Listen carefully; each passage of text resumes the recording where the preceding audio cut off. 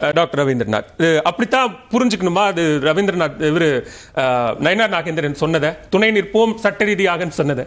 அவர் எப்படி சொன்னாலும் தெரியல. அது பிறகு வந்து அந்த நிலையை பார்த்து மாற்றிக் கொண்டார்கள். சரி. அதே போல பார்த்தீங்கன்னாக்க இன்றைக்கு வந்து திராவிட முன்னேற்றத்துடைய இளைஞரணி மருத்துவ அணி மாணவர் எடுத்து- எடுத்துக்கக்கூடிய இந்த முயற்சிக்கு சமூக சமத்துவ டாக்டர் சங்கம் முழுமையாக துணை நிற்கும் நாங்களும் அதில் கையெழுத்து போடுவோம். மாநில உரிமை சார்ந்த விஷயங்கள் அடிப்படையில் நாங்கள் மனமாற பாராட்டுகிறோம். உதயநிதி அவர்களுடைய இந்த முயற்சியை வந்து நாங்கள் மனமாற வரவேற்கிறோம். சரி.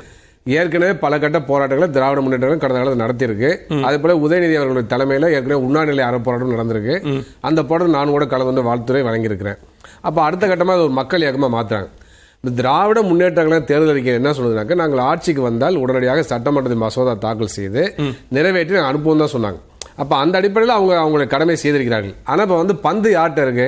ஒன்றிய அரசுல தான் இருக்கு. மோகனப்பிரியா மேடம் பேசுறப்ப சட்டமாகட்டும் அதுக்கப்புறம் ஆதரிக்கிறேன்னு சொன்னாங்க. சட்டமாறதுக்கான உதவி யார் செய்யணும்? அந்த பொறுப்பு யார்கிட்ட இருக்கு? மத்திய உள்துறை தானே இருக்கு. கேபினெட் தானே இருக்கு. ஆமா. அப்ப கேபினெட் முடிவு செய்து அதை வந்து குடியரசுத் தலைவருக்கு அனுப்பி இந்த சட்ட மசோதாவுக்கு ஒப்புதல் கொடுங்கன்னா சொன்னா முடிஞ்சு போச்சு. அது இல்ல இன்னும் கூட கூடுதலா செய்யலாம். ஒரு அவசர சட்டம் கொண்டு வந்து தேசிய மருத்துவ ஆணைய சட்டம் ரெண்டாயிரத்தி பத்தொன்பதுல எந்தெந்த மாநிலங்கள் நீட் தேர்வில் விலக்கு நீட்ல இருந்து விலக்கு வழங்குறோம்னு சொல்லி ஒரு சின்ன திருத்தத்தை அவசர சட்டமா கொண்டு வந்துட்டாங்க.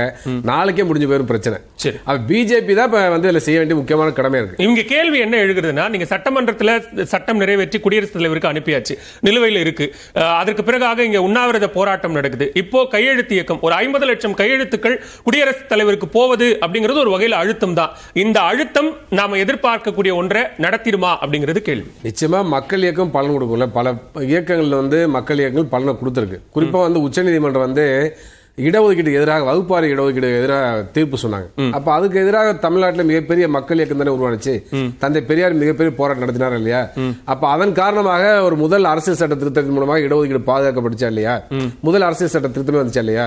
மக்கள் இயக்கங்கள் மூலமா பல சாதனை செய்ய முடியும். இன்னும் சொல்ல போனா விவசாயிகளுக்கு எதிராக பிஜேபி கொண்டு மூன்று சட்ட மசோதாக்கள் என்ன ஆச்சு அந்த சட்டங்களை திரும்ப பெற்றாங்களே? ஏன் பெற்றாங்க?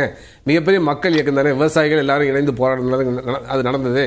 அது சாத்தியமாச்சுல அப்போ மக்கள் இயக்கங்கள் மூலமாக சாத்தியமாகும்.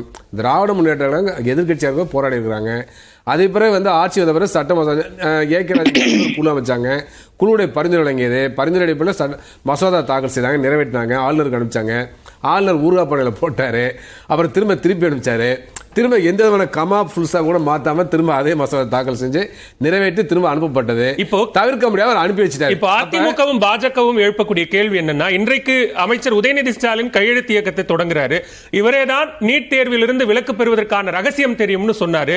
ஆனா இப்ப தேர்தல் நெருங்கக்கூடிய நேரத்துல இப்படியான ஒரு போராட்டத்தை கையெழுத்து இயக்கத்தை தொடங்குவது ஒரு டிராமா அப்படிங்கிறார். ரகசியமா அதுல பல்வேறு காரணங்கள் இருக்குங்க. குறிப்பா வந்து அதிமுக வந்து மசோதா தாக்கல் செய்து நிறைவேற்றப்ப ஒரு எந்த விதமான கமிஷன் அமைக்கல. அதோட நியாயத்தன்மை அந்த சட்டத்துக்கு ஏன் கொண்டு வர்றோம்? அப்படின்னு வந்து வலுப்படுத்துறதுக்கு எந்த விதமான இதுவும் இல்ல. ஆனா திமுக ஆட்சி பிறகு ஏ கே ராஜன் கமிட்டி ஒன்று அமைச்சாங்க. நீங்க பேசலாம் madam. A K Rajan committee ஒன்று அமை- அமைத்தார்கள்.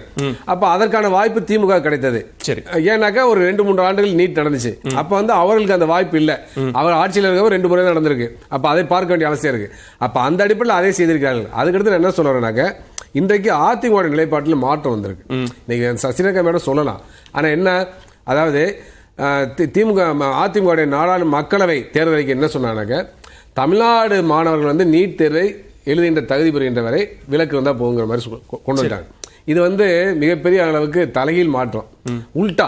இப்போ வந்து என்னன்னாக்க அதிமுக வந்து ஏற்கனவே த- தமிழ்நாட்டில் ரெண்டு மசோதா தாக்கல் பண்ணாங்க. ஒன்று இளநிலை மருத்துவர்களிலிருந்து விலக்கு கேட்பது மற்றொன்று முதுநிலை மருத்துவர்களிலிருந்து நிரந்தர விலக்கு தான். சரி. ஆக நிரந்தர விலக்குக்கு மசோதா தாக்கல் செய்து நிறைவேற்றி நீங்க வந்து அனுப்பி வைத்த பிறகு திரும்ப மக்களவைத் தேர்தலில் நீங்க வந்து தமிழ்நாடு மாணவர்கள் எழுதுகின்ற தகுதியை பெறுகின்ற வரை நீட் இருந்து விலக்குன்னு சொன்னா அது என்ன அர்த்தம் அது? அப்ப அதே போல மற்றொரு விஷயத்தை சுட்டிக்காட்ட அனுப்புகிறேன் இப்ப வந்து இந்த நீட்டை வந்து சட்ட ரீதியாக மாற்றியதுன்னு சொன்னாங்க தேசிய மருத்துவ ஆணைய சட்டம் ரெண்டாயிரத்தி பத்தொன்பது தான். அப்ப அந்த ரெண்டாயிரத்தி பத்தொன்பதுல தேசிய மருத்துவ ஆணைய மசோதா நிறைவேற்றப்படுவதற்கு முன்னால் விவாதம் நடந்த பொழுது ரவீந்திரநாத் அவர்கள் வந்து பேசினார். பேசுறப்ப அந்த இதை எதிர்த்து பேசுறாரு. ஆனா ஓட்டளிக்கின்ற பொழுது ஓட்டு எதிர்த்து ஓட்டு போடாம வாக் அவுட் பண்ணிடுறாரு. இது என்ன நிலைப்பாடு அது? சந்தர்ப்பம் இல்லையா அது? அப்ப வந்து அந்த பக்கம் பார்த்தீங்கன்னா பிஜேபி பாய்ச்சி கூடான்னு பாக்குறீங்க. அதிமுக மீதான ஒரு ஒரு ஒரு ஒரு நிமிஷம். என்னன்னாக்க நாங்களும் கடுமையான போராட்டம் பண்ணணும்னு அவங்க சொன்னாங்க. நீங்க மசோதா தாக்கல் செய்து நிறைவேற்றப்பட்ட பிறகு அதுக்கு அனுமதி கொடுங்க அங்கீகாரம் வாங்கி கொடுங்க குடியரசு ஒப்புதலை பெற்று கொடுங்கன்னு ஏதேனும் ஒரு போராட்டத்தை அதிமுக கடந்த நாள் நடத்தியிருக்கா சரி, பதில். திமுக நடத்திருக்கு அதிமுக நீங்க முயற்சி ஒன்று சொல்லுங்க. இல்ல நீங்க முயற்சி- முயற்சி. ஆளுங்கட்சி ஆளுங்கட்சி. செய்ய வேண்டிய சில விஷயங்களை எதிர்க்கட்சி செய்யணும்னு இப்ப எதிர்பார்க்கிறது இல்ல பண்ணீங்களா அப்படின்னு கேட்கிற கேள்வி சரியானதா குற்றச்சாட்டு- நிறைய பேசிட்டாரு, நான் பதில் குற்றச்சாட்டு சொல்றேன். வைக்கல இல்ல. அவர் சொன்னதுதான் பதில் சொல்லியிருக்கேன். ரொம்ப சுருக்கமா பதில். மக்கள். இயக்கம் மாற்றணும்னு சொல்றேன் கொடுக்காத முட்டை அவர் கொடுத்து கொண்டிருக்கிறார். இந்த மாதிரி ஒரு மக்கள் மருத்துவ சங்கம்னு வச்சுட்டு நீங்களே இந்த மாதிரி ஆளுங்கட்சிக்கு ஆதரவாக நீங்க இப்படி ஒத்து ஊதிட்டு இருந்தீங்கன்னா உதயநிதியோட ஹம்பக்கான டா- எப்படி விலக்கு பெற இல்ல, இல்ல, முடியும்? மிஸ்டர் எப்படி நம்ம போராட்டம் கடும் சொல்லாடல் வேண்டாம். இல்ல நீங்க. இல்ல அவங்க என்ன சொல்றாங்கன்னா அதிமுகவினுடைய பங்களிப்பு. அப்படிங்கிற கேள்வி. வரும்போது அதுல என்ன பங்களிப்பு இருந்தது அப்படிங்கிறது. மூணு இல்ல மூணு பேருமே பதில் சொல்ல சின்ன இடைவேளை எடுத்து குறுக்கீடு.